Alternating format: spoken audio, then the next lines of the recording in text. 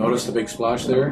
His uh, engine flew up apparently and hit him on the shoulder after he ran into a log. He points back to something that dropped behind him and his uh, accompanying boat goes to pick it up.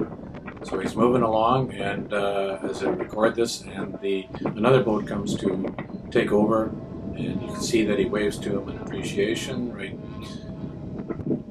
there and away he goes.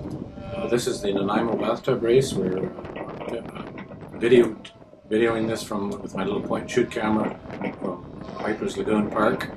And uh, this is uh, Nathan Barlow who finishes first in 1 hour 11 minutes and 54 seconds. Quite amazing.